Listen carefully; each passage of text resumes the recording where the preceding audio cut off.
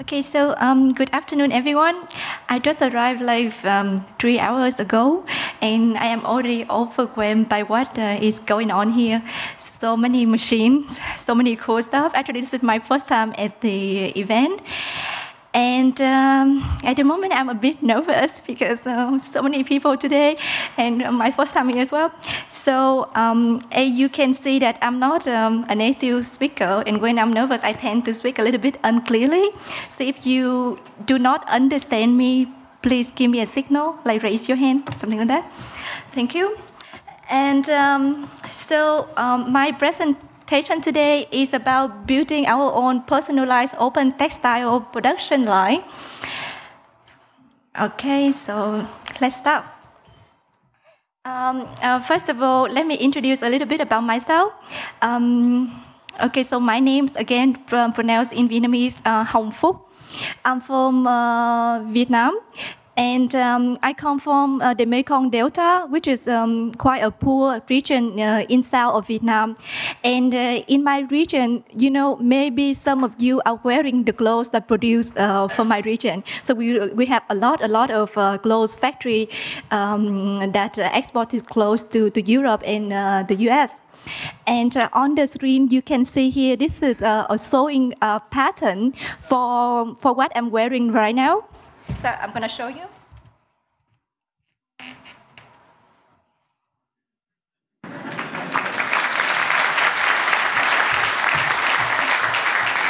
Um, so this is what I'm wearing right now is a Vietnamese um, traditional dress. So it is very popular back to the 60s and 70s, but nowadays you can hardly see it in Vietnam anymore unless you come to an event like this. Then you can see the áo dài. Okay, so this is um, the example of um, a sewing pattern. Like before you, you sew, uh, like the rest of it, you need to come, uh, you need to have the pattern. And um, okay, so let's continue. So um, uh, the region where I come from, we produce a lot of clothes, and uh, we can see a lot of problems are, are going on in the garment industry. And um, today, I would like to, to, to mention, uh, to discuss about the issue and how we can solve them. And um, so um, our goal of the project is to make a revolution for the textile and garment industry. Um, there are a lot, a lot of examples to show that the system is broken. And uh, so let's see how can we uh, fix it. Okay, so um, get ready. This is not in Vietnam. This is a picture that's taken uh, in Dubai about three months ago. So uh, Dubai, we know, this is a really uh, glamorous city, the tallest building in the world, the best hotel in the world, and the biggest mall in the world. And they have probably the most oil in the world. maybe it's not right, but so you know the city are abundant energy. You know, on the street, you, there are a lot of uh, bus stop, and you, when you go inside the bus stop, they install air conditioning in all the bus stop. And uh, inside the bus stop, they even uh, uh, advertising message saying that here in Dubai it always 23 degrees Celsius. So that's how they use uh, energy and this is in the middle of the city of Dubai. And this is a small tailor, tailor shop. Most of the guys are come from Bangladesh or Pakistan. And you can see they have no window in their working area, no aircon, only one fan installed in the ceiling. And in Dubai, during the summer, the temperature can get above 40 degrees. And this is the condition that these uh, tailors are working on at the moment. Okay, so um, next one. Uh, and uh, this is um, so this one is the picture that I take from my cell phone. I've been living in Dubai for a few months, and this one is the picture that taken from the internet because it's very difficult to get access into the factory in China or, or Vietnam. Um, so this is uh, a, um, just a sample picture of uh, a factory in, in China. But nowadays, you know, a lot of uh, clothing um, manufacturers are moving to Vietnam because um, we have cheaper labor costs and um, we just are very low to, to China. So um, we, we're receiving a lot, a lot of foreign investment in the garment industry. And so what it is, I believe uh, you guys still remember the deadliest accident in the garment industry just happened one year ago.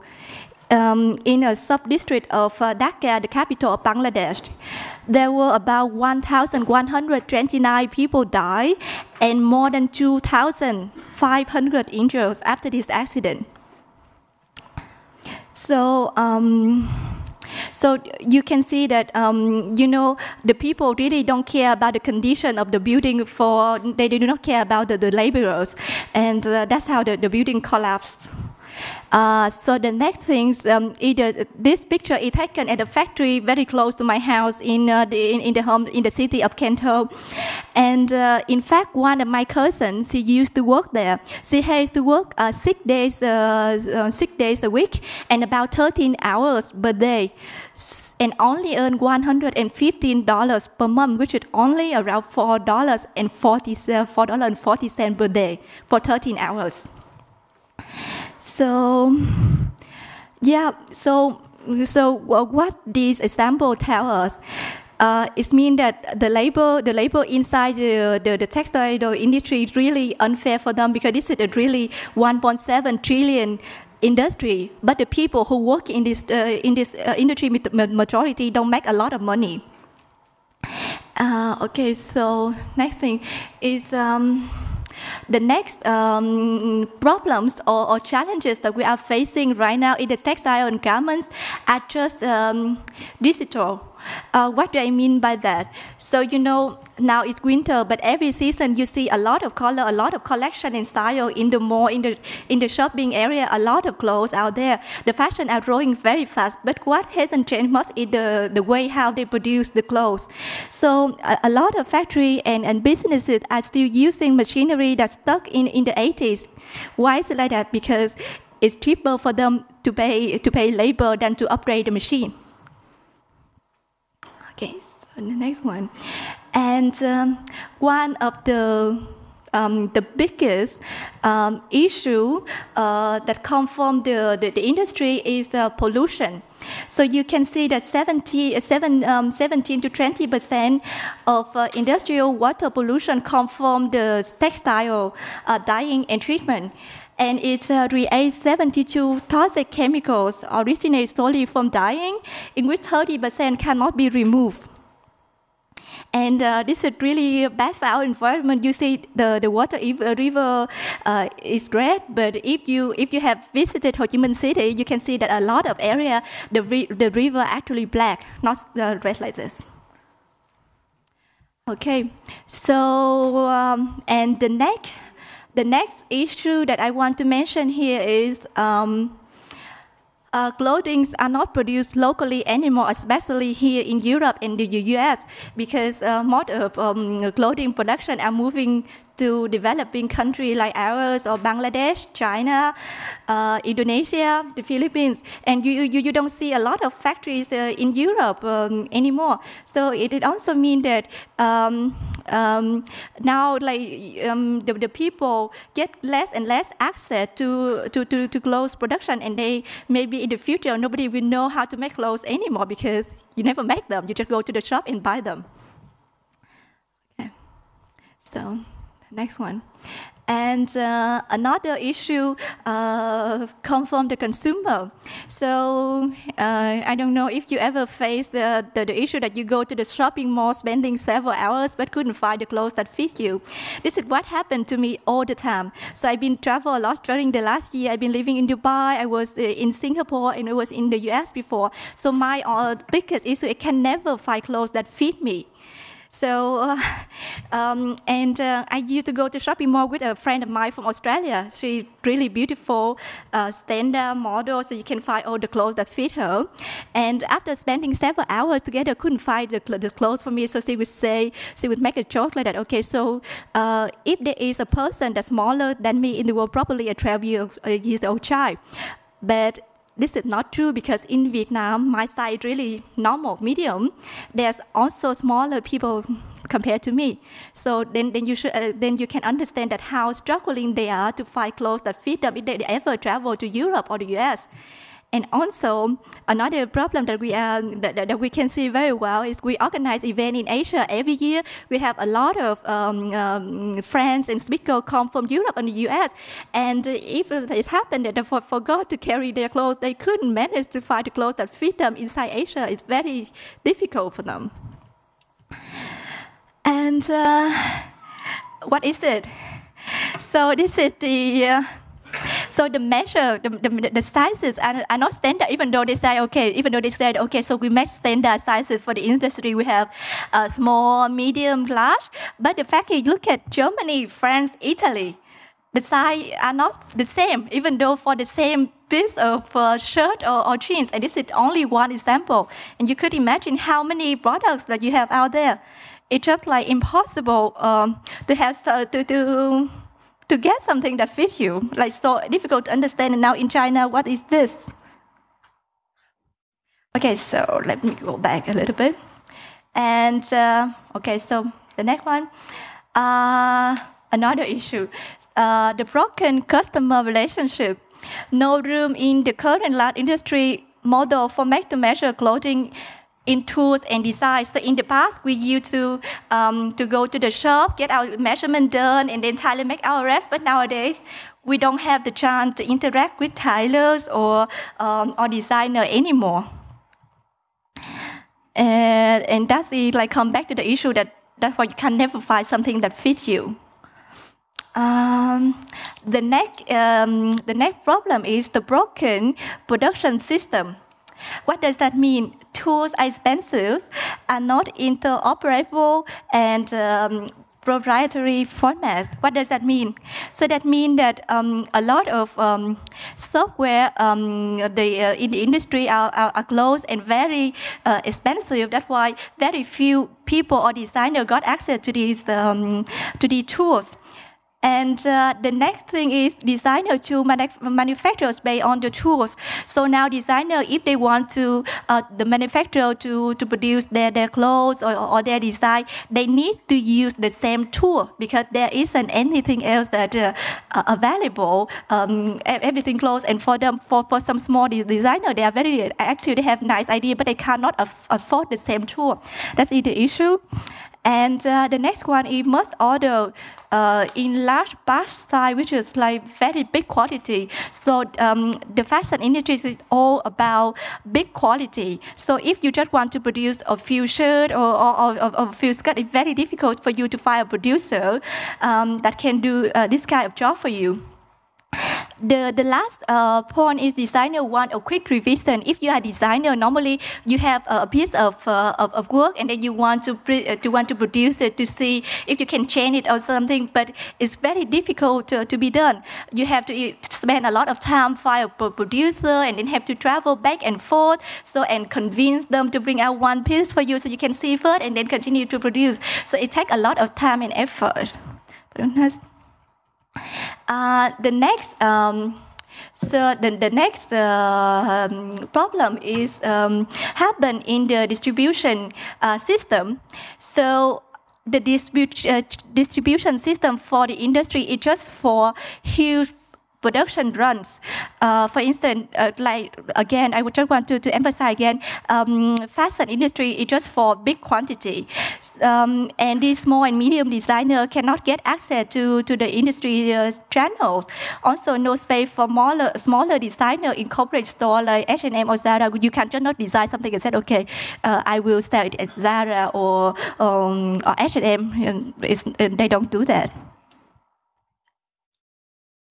Okay, so so um, according to the the the, the few uh, example that I showed you just now, it just um, this is something so funny. I don't know. this is something wrong. so okay, so. Uh, so it's just like everything is broken, like in every level of, uh, of the industry is broken. And for designer, for production, for customer ourselves, and also the distribu- uh, distribution general, everything seems broken and uh, doesn't work. So how to fix it? Uh, this is a picture of um, our friend in the um, open tech uh, community in Berlin.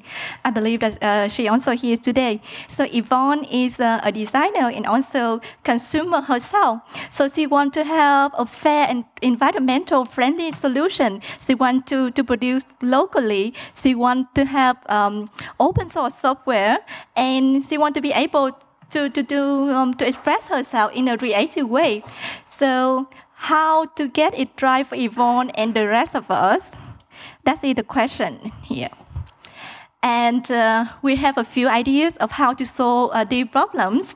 Uh, so uh, we come up with something, we, we, we, are looking into the new interfaces for garment and textile production in the free and open source software and hardware, in uh, open data formats, and in uh, open garment marketplaces.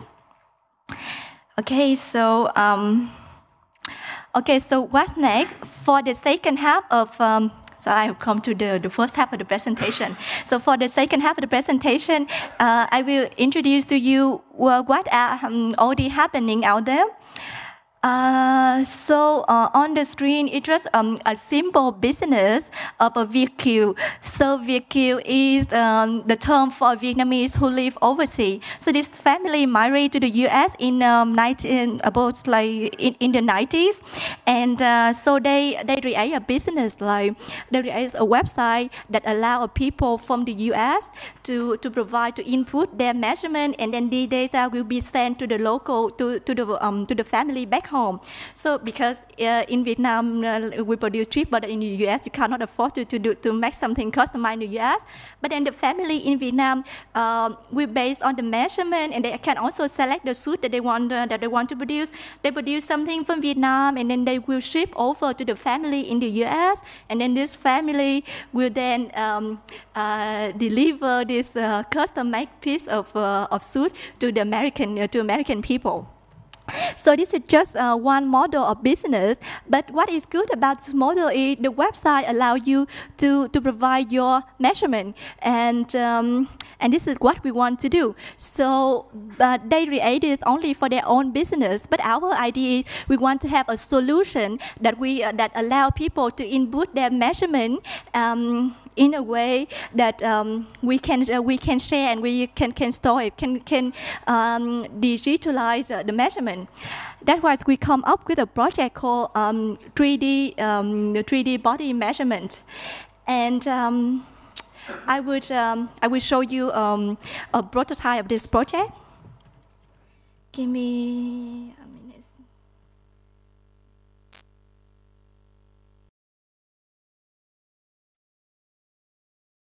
Okay, so um, so I, I already create something beforehand because um, I don't want to, to waste everyone's time. So uh, so let's see what can we do here. So we click on the measurement list and uh, let's see.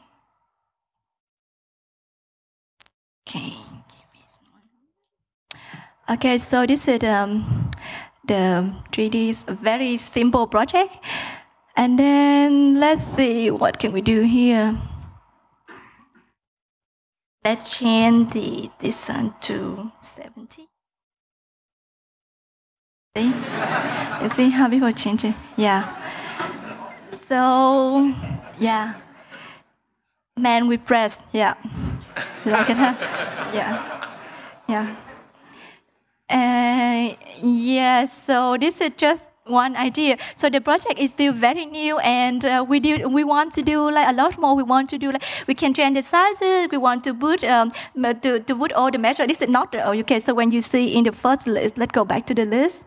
Um, this is not all the measurement you have on, on your body. There are a lot more. So we are still working on it. And um, so later on, we want to do more things with it. Not just that, we want to have a 3D body, body measurement on the smartphone where you can just use your phone to, to get your, your measurement and send it to, to, to a database that um, can be shared with everyone. Yeah, you can also have um, a female body. Yeah. See, you see the difference? okay, so let's go. Let's go back to play.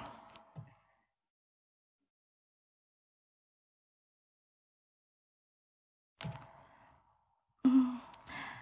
Okay, so um, the code are available on GitHub if you want to, to check it out and install on your computer to test it. Uh, so after we uh, we get uh, we got the measurement, what we, what we're gonna do with it?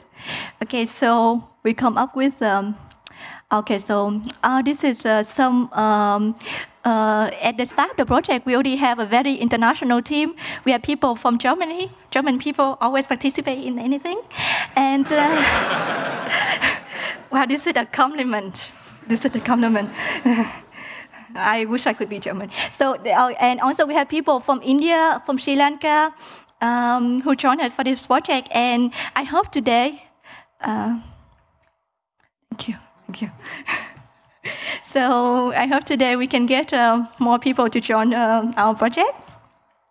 Um, Okay, so uh, by the way, FOSSASIA um, is, uh, an, uh, is an organization that I've been involved for the last five years. In, initially started in Vietnam to support uh, the development of free and open source software and uh, try to adapt um, open technology for social chain uh, with a focus on Asian user. Um, okay, so after you have the, the measurement, what do you what do you want to do next? uh, we need to store it somehow. That's why some of our members uh, in the community have an idea of develop uh, a human definition format. Uh, it's, just a file where you can store um, your measurement, and you can check out here. I'm not an expert, but uh, it's always a few people are laughing, but maybe you know more than me. yeah. Okay. So next one. Okay, so we have um, we have measurement. We have a way to store the measurement. Uh, what do you want? Uh, what do we want to do next? So uh, for the next thing, I would like to to talk about the open source uh, pattern making.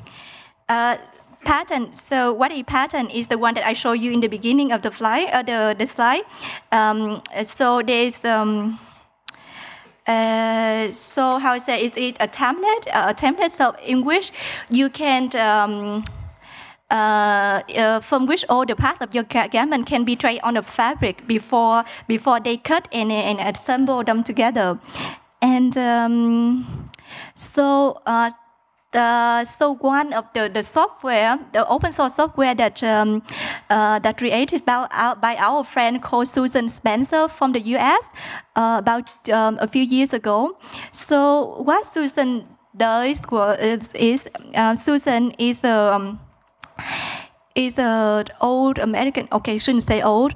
Uh, is a is an American lady. She's really lovely, really. Uh, okay, so she retired, and uh, so um, so she tried to think of she liked to to, to sew. She, she, she, uh, she mentioned in her story that she started to sew when she was uh, four years old, but she didn't have chance to do it uh, throughout her life. But now she retired and she wanted to, to go back to sewing to do something with it, and she realized that um, over 50 years nothing had changed much. Like she she, she still do the same thing like she did uh, in the old time. So um, she come up with the idea of uh, a software that can create digital pattern. So what she did was she um, she tried to, to create pattern based on uh, mathematical um, formula coded in Python and then executive in uh, Inkscape um, extension and uh, try to export in uh, SVG and then from SVG create a PDF that can be that can send to the printer that bring out the pattern that uh, to bring out the sewing pattern. And um, so I met uh, Susan um, three years ago at LGM, um, LGM Libre Graphics meeting. And during the, the past uh, three years, uh, I met her almost every every year and always listened to her, like how, how she did the project and everything. And she also showed me how to create pattern uh, based on, uh, based on uh, mathematical formula. Uh, so that's why I try um, I try like some something with um, processing, and it turned out that you can also generate some kind of uh, pattern in processing. So it means that there's a lot of um, alternatives. Um, there maybe there's also other solution with other free software that can help you to to create um, sewing pattern. And this is um, another project. So because of this work, we, we got um, other people to contact us so to, uh, to, to tell us about their project. And this is another software uh, that's called Project Valentina, uh, developed on um, Qt5 uh, from Roman, a guy from the Ukraine. And uh, yeah, so that is uh, about um, pattern, making pattern, sewing pattern. And uh, the next thing that I want to, the next thing that I want to um, to introduce to you is um, embroidery. Uh, do you know uh, embroidery? Yes, no. Uh, embroidery. Um, yes, yes. This embroidery. Can could you please stand up? okay, so you see on her jacket. So this is um, uh, the process of making um, a pattern on your fabric uh, by stitching by, by thread, and uh, this is uh, embroidery. So um, how in the old time, how do we do embroidery? A lot of people sitting down and do it by hand they spend all day and night to do to do this kind of work. But uh, recently, they, of course, they also have uh, the machine uh, to do uh, embroidery. Embroidery, but the machine is very expensive. Um, not everyone can afford this kind of machine. Uh, so uh, you know, um, George and um, Zotanen, they start uh, a project called Embroidermodder, which is a, a software that creates your, your own em embroidery design in the CAD program and then generate embroidery files for home and commercial machine. And uh, they started a Kickstarter campaign this year, but unfortunately they, they, they, they weren't successful. I don't know, not much interest for embroidery, I guess. So, and, okay, so what else? Yes. Um, by the way, I just um, uh, as we talk about embroidery in the, I don't know how to call that big hall where a lot of machines are, there is uh, a person called Alexander Brook. He came with a embroidery machine. So if you want to, to see how it looks like, he has already a very big machine very close to, to the stage. And it creates a strange sound. You can hear from, from far away. So you can just come there and he can show you how the embroidery machine works. Uh, okay, so the next things. Uh, the next thing that I want uh, to mention here is knitting. Knitting, I believe we know knitting because what we wear right now for winter, most of the, the clothes that we that we wear are knitting. So knitting, actually, there is um, a big interest um, come from hackers for knitting machine. Why is it like that? I think because for knitting you can create um, uh, a piece of shirt or a piece of garment from the beginning to an end. So there, there are not a lot of um, process that need to go through. You don't need to go to uh, overlocking shop. You don't need to um, you don't need to, to do pattern cuts. You can produce everything at once. So that's why there are big interest come from uh, the the hackers and developer side for this, and. Um, on the uh, on the screen there is uh, an example of a shop in London that um, allow customer to look at um, knitting and to choose their own pattern and print it out their shop, uh, print it out their their, their clothes uh, inside the shop at the time that they come to um, to that store in, in London. This is just reference, and um, uh, the next project is um, OpenKnit, which is, uh, you know this one? So um, started from uh, Rubio from uh, Barcelona. And this is um, a very interesting project. So in a moment, I, I will show you um, a video on this. And uh, together with his team, he also they also developed a, a software called Knitted, which um, allow you to make your own design and communicate uh, with that um, um, on construction knitting machine. So uh, let's see the, um, the video.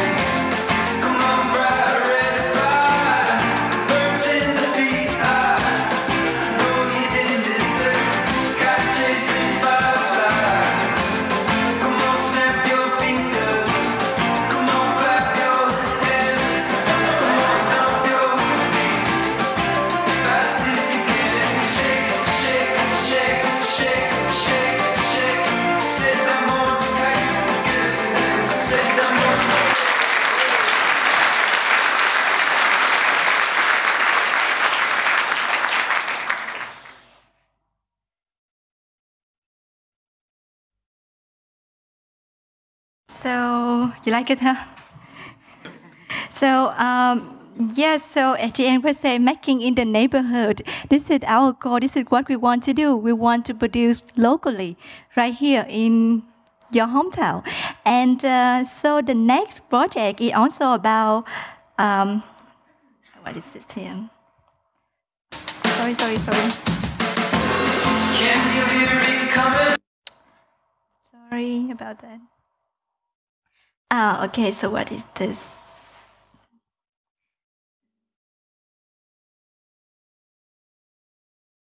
Uh, so this is um, a picture that taken in the um, MeshCon in Berlin just a few months ago.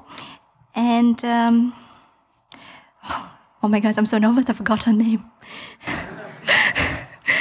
I, I remember, I, but I no. But so so um, she came to the event, and um, so what what what is um, about her? So um, um, she is a woman that owns 15 knitting machine at home. She loved to knit and she came to um, to MeshCon. She met, uh, she met a lot of hackers and learned about how they, they hacked the, the, the knitting machine. And uh, she really excited and, and she, she, she want uh, you, like hackers, developer, to, to help her to, to upgrade her uh, knitting machine. And this is uh, what we want to do next, to hack more knitting machine. And uh, another project also about knitting. I yep, uh, all yarns are beautiful. And this project is come from Germany, München.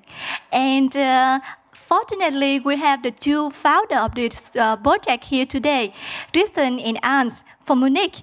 And um, so there will be supporters uh, today. They will come on stage and uh, give a live demo for us. So please join us on stage.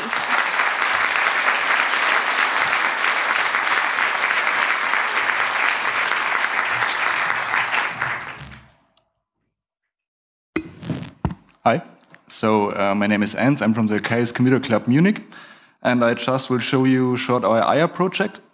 Uh, what we have here is an old knitting machine from Brother from the 70s. These machines uh, are produced till the 90s, so they are not produced anymore.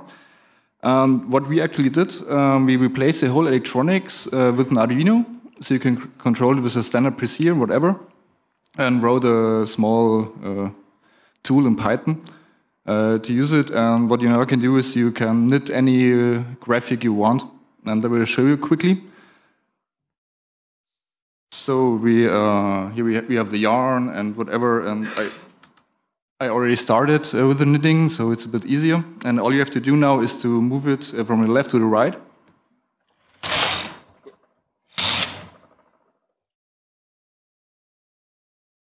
And it does nothing.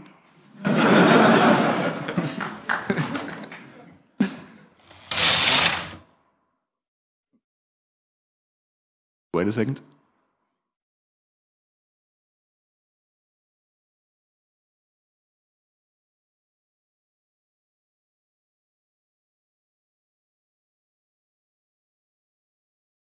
Okay, it won't work. Um, so just imagine how it would work. and you can maybe hear the sound, the lovely sound of the machine.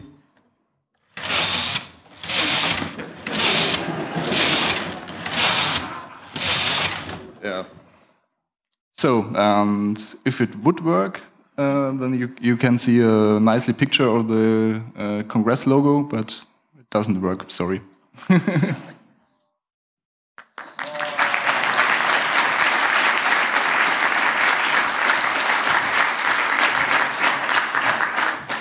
Okay, so uh, thank you so much. It's so typical, right?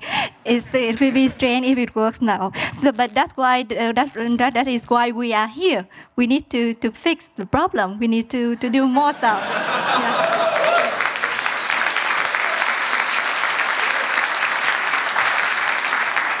Okay, so thank you very much, Anne. And um, so let's continue. I'm almost done.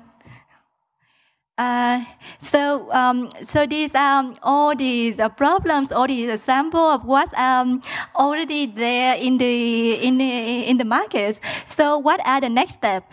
We need more machines to hack and liberate. We need fashion tech makers bases. We need software developers and designers. We need to start a local production everywhere and control environmental standards. And um, we need makers to start their own businesses and uh, open fashion store. Okay, so, and uh, one of the last slide, the reason why I'm here today, I'm looking for help.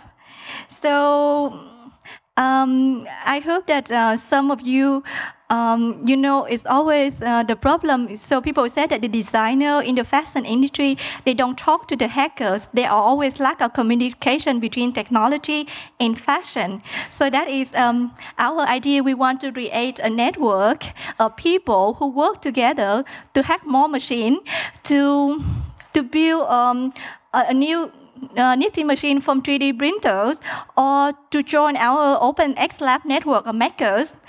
Um, by the way, this picture is um, it's called an uh, knitting machine, and uh, majority part of it uh, are made from plastic. plastic. And um, so, if you have any ideas how to help us to to create a personalized open textile production line, then um, give your ideas. Uh, this is a few places that uh, our community members will be there to talk with you, to discuss with you more. So we will be at the um, FOSDEM in Brussels, January 31st to February 1, Room of Internet of Things. And um, we have uh, one big event coming up in Singapore from March 13 to, to 15 uh, Asia. And uh, we will be then at the Open Hardware Track and also at the Open Tech Summit in Berlin, May 15, also Open Hardware Track. And on the next Mesh, uh, MeshCon conference, uh, Fashion Tech Week in Berlin, October 6 to 12 hope to you, uh, you, you can join us then. And uh, that's it.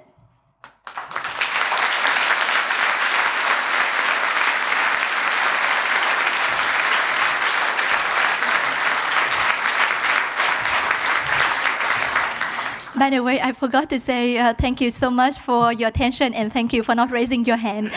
you know.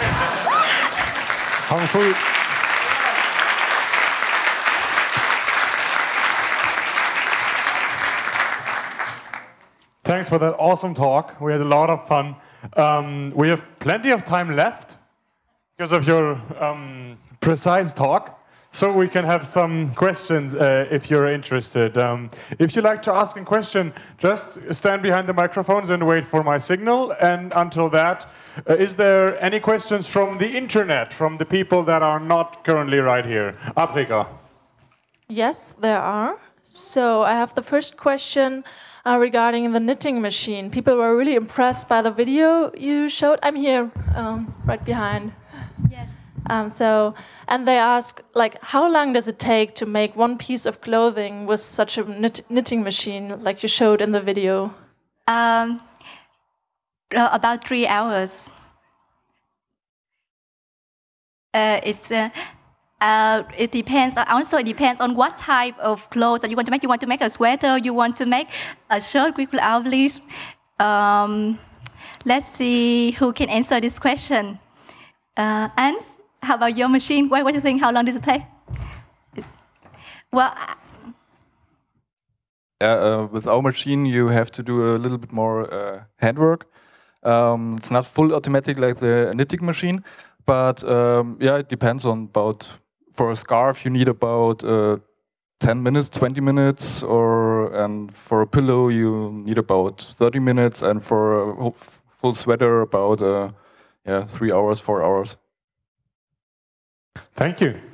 The gentleman in the red pullover, what's your question? Yeah, my, my question about uh, the the quality of the the garments. Um, I had some some things made some some time ago in uh, uh, well some foreign country, and and then the shirts came out uh, after some uh, year. They they were worn out, and the quality of the cotton was not good enough to my to what I wanted. So how do you how would you uh, think of, of managing the quality of the the garment? I don't like uh, the quality of uh, clothing like H and M, which wears out in three months. I want to wear my clothes for many years.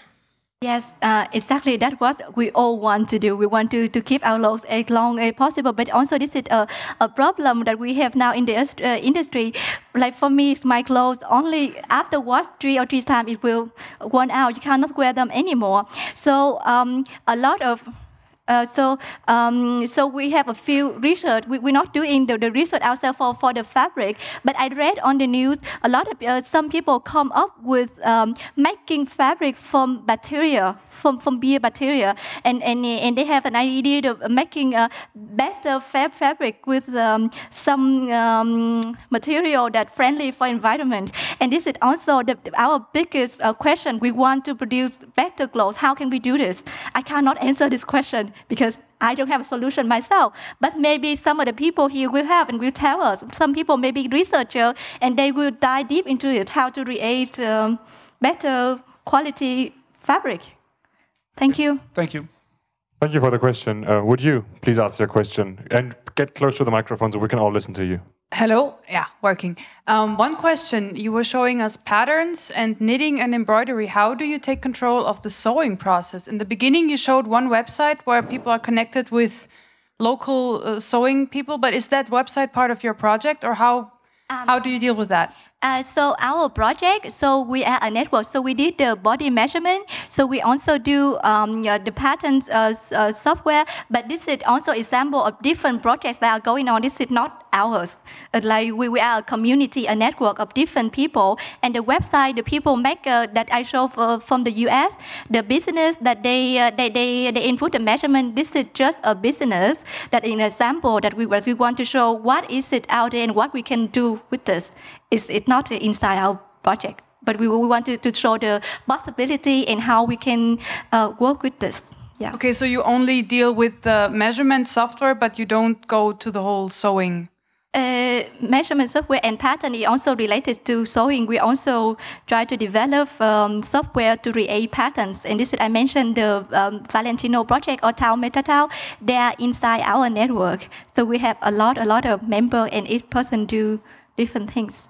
Okay, no, the only question was who is sewing the clothes from the patterns?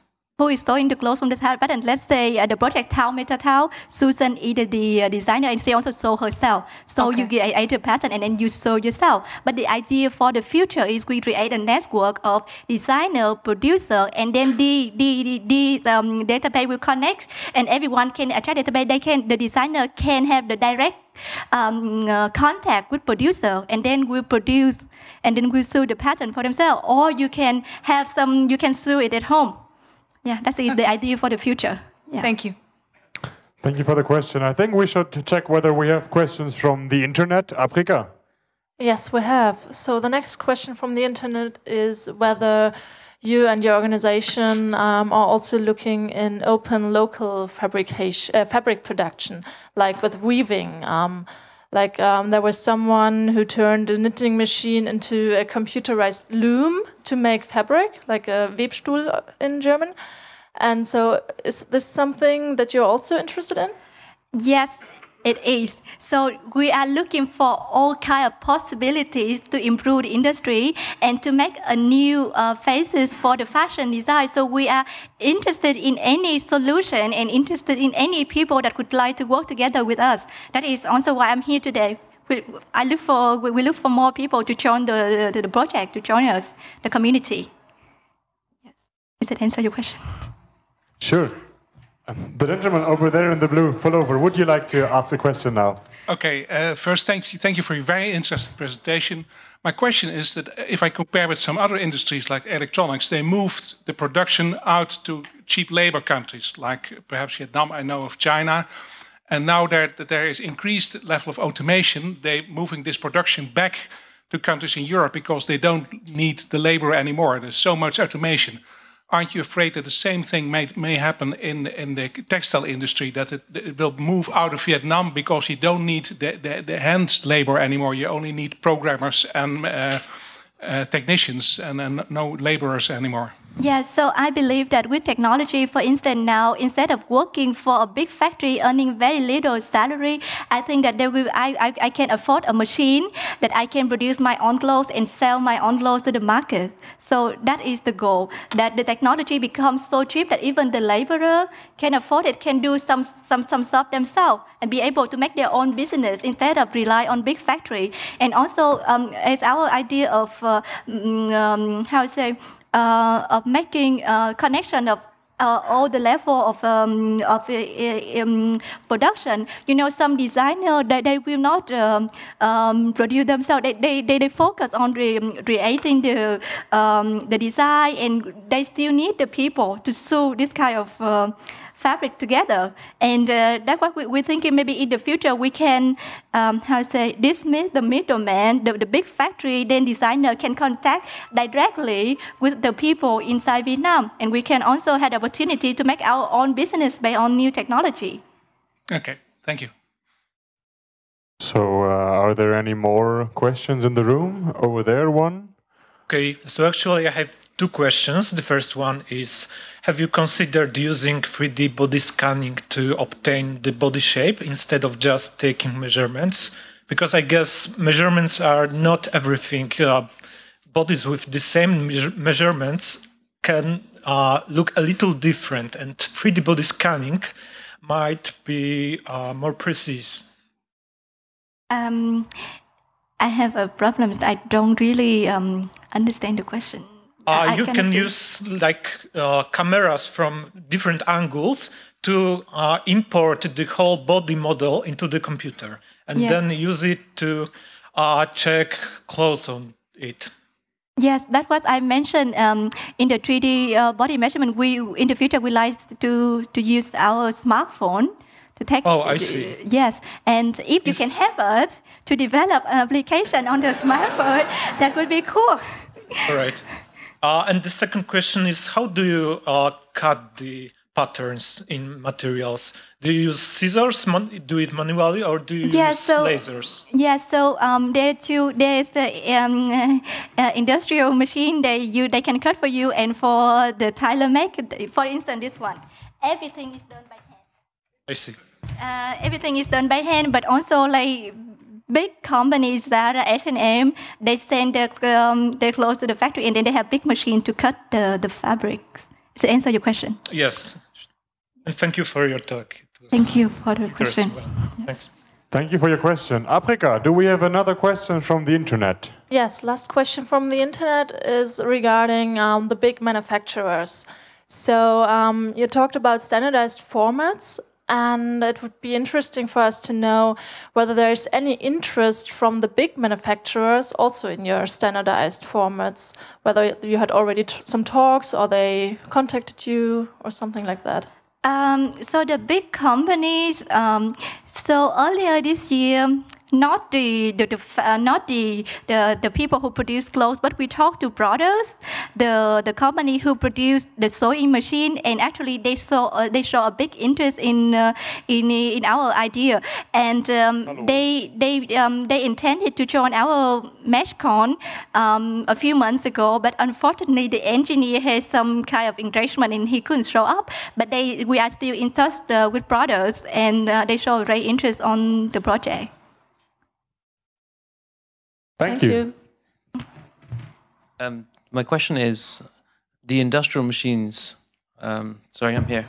My question is the industrial machines are more expensive because they're bigger, and the printers, uh, individual printers, are cheaper because they're smaller. Is that the reason, or is there a technological difference between the two which makes the industrial machines more expensive to acquire by the average person? Industrial machine they can produce faster, they can produce more, uh, and also they can do more stuff. That is more, exp- yeah, it's more expensive. Is it uh, the Yeah, question? that's fine. Yes, thank you. Are there any more questions there in the back? Who was first, you or you? Okay, go go away. Ask the question. Um, my question is quite simple. You say you are being at quite a lot of events next year, but do you have an assembly here so we just can go over and talk to you after that? Uh, yes, um, we um, uh, we have a group of people here actually, um, and I just arrived today, and the members in my group saying that we have uh, we will meet Andres. Where are you, Andres? Are you here? Uh, so where is it the space that we that we ha- have used? I don't know. This is my first time. I don't know the, the area around, but but our member, I, I think they have they know where to meet. Uh, Mario. Uh, so, um, uh, so, uh, and where is it? Where are you located? Do you need a microphone? Okay, so um, this the space with the other knitting and sewing machines uh, is in Saal 3, uh, Saal 3 uh, in the uh, co- uh, right um, corner in the uh, back of the room. Um, I think if you're interested, you can uh, check this out, and um, you should uh, maybe announce where you will be staying after the talk. So if people want to ask questions directly to you without the big audience, they have a chance to meet you up after the talk. I will be there with them. Yes. Okay, so so uh, Hong Phuc will be in Saal 3 uh, at the Munich CCC with the other knitting machines. Are there any more questions? You have a question. Yes.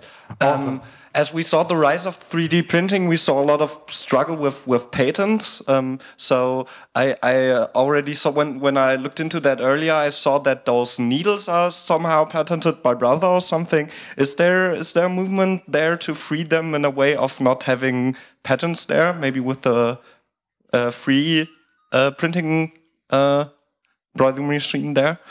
Uh, so you know this question will be best answered by our one of the developer there. Uh, Kristen, would you like to, to answer that question?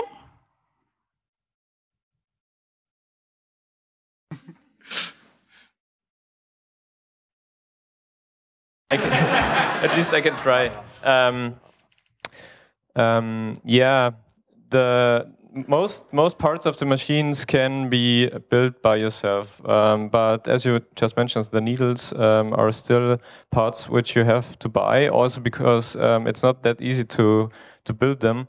Um, but um, it's no witchcraft, so uh, if you saw such a needle, you can have a look at it. It's really simple built up. So um, perhaps if somebody can think of a, another slightly another uh, layout, you can often avoid patent or whatever uh, restrictions. Yeah. So it's not like in- in 3D printing where we basically have everything that makes sense patented. So it's basically just the needle and everything else is kind of open as well. Yeah. Uh, Okay. In this in this example, the open knit uh, machine, um, you saw uh, pretty many uh, parts were 3D printed, so it's also not that uh, easy to assemble. So if you want to start right away, uh, perhaps it's better to get a an old machine which is complete and working, and uh, start with this. And uh, yeah, building an open knit machine is perhaps a little bit for the more advanced users. Okay, thank you. Thank you. Are there any more questions? No? So thank you for attending. Um, give a warm round of applause to Hong Phuc and her